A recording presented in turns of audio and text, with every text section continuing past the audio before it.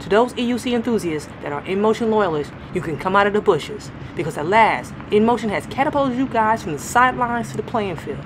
Gone are the days you loyalists have to sit idly by, waiting for the chance to prove your beloved InMotion would someday create an EUC that would muscle its way onto the EUC scene and disrupt the lion's share of EUC street dominance that has been for so long reserved for Begode and later Leaperkim. And although you guys can now say with your chest that the V13 is that damn wheel, the rest of us are looking at you with shrugged shoulders saying, what took you so damn long? But before I get into this review, I would like to thank Free Motion Shop for allowing me the opportunity for testing out the V13 Challenger. If ever you guys are in the market for a new or used EUC and don't want to get took, peruse on over to Free Motion Shop and give them a second look. Their information can be found in the description box below. So without further ado, let's get into this review. There is a fable, The Tortoise and the Hare, that's befitting of the slow progression of InMotion Pioneer Move to roll out their first ever high-performing wheel that packs a lot more from a company that kept it slow and steady for the last nine years.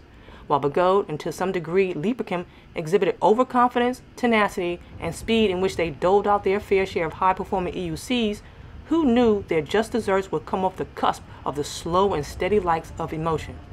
Now, don't get me wrong, InMotion is a trusted brand. We can arguably agree that fixated their attention more so on the performance of safety above all else, which translated to the EUC streets as a company whose wheels held minion status. So shocked was I when InMotion had a defining moment and decided to step up their game by launching the V13 Challenger that not only boasts free spin speeds in excess of 80 plus miles per hour and had mad torque, but have safety margins in place to prevent cutouts and thermal runaways. Surely they just, or gnaw.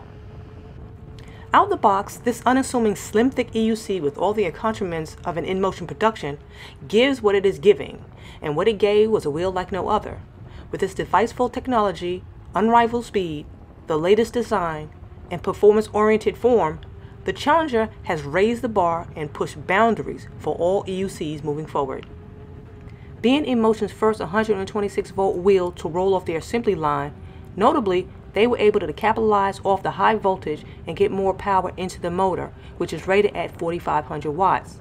And because of this, the Challenger has a no-load speed of 87 miles per hour, or in this case, 140 kilometers, making it the fastest EUC thus far.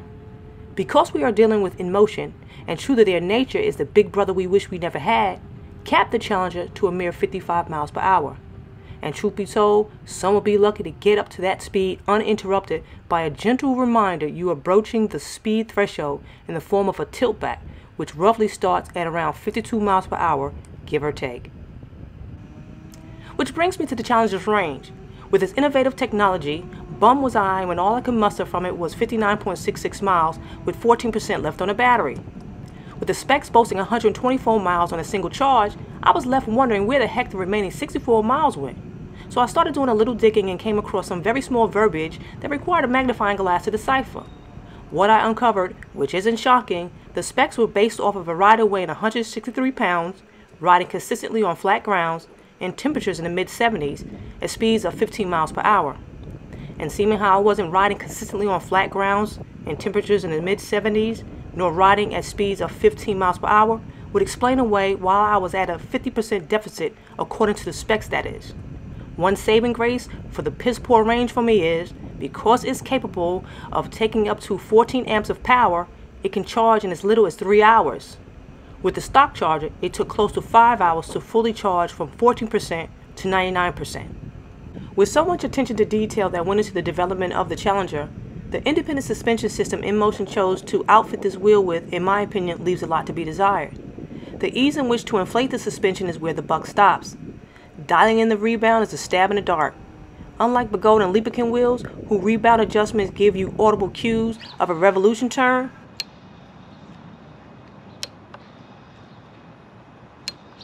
the Challenger, well let's just say free spins clockwise and counterclockwise with no audible cues intact.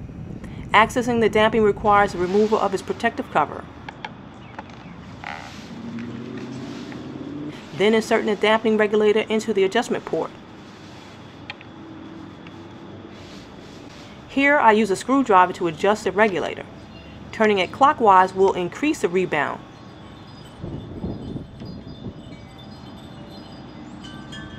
As you can see, doing so, there's resistance from applied force. Turning it counterclockwise will decrease it.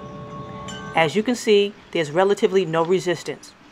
So depending on your comfort level will be indicative of how much or how little you turn in either direction.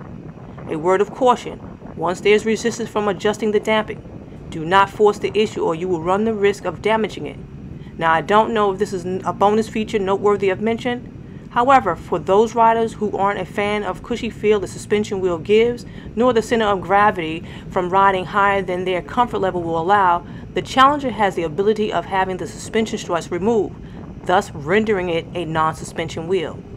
The duality of the Challenger's touchscreen makes having it one of those features you may not need but nice to have. The screen not only allows a rider to monitor speed and battery consumption, but allows for adjustments to the settings without having to access an app. This feature's ease of use and responsiveness makes it more practical to use than whipping out a phone to access settings via an app. With each new rollout of wheels, the one accessory that's more transient than the wheels themselves are the footrests.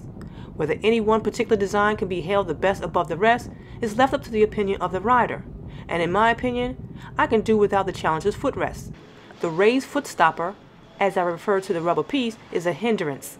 As a rider who transitions into different riding styles throughout the course of riding, I'm constantly shifting my feet to accommodate the angle of my body, and with the foot stopper positioned on the outside edge of the footrest and raised, I'm finding I don't have free motion of my feet to maneuver them outwards, so I'm constantly wiggling them to get them in a position that's conducive for the move I'm going in, which is counterintuitive at high speeds.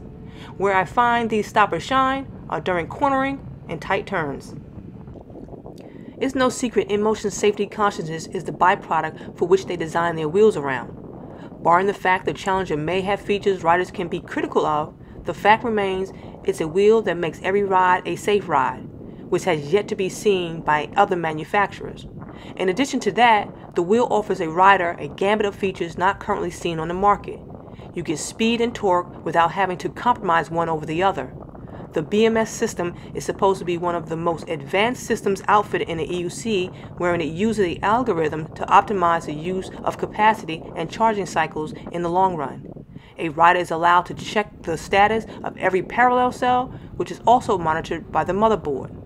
The redundant Hall sensor system controls the motor more accurately. In case one fails while riding, the other can take over, thus preventing a cutout.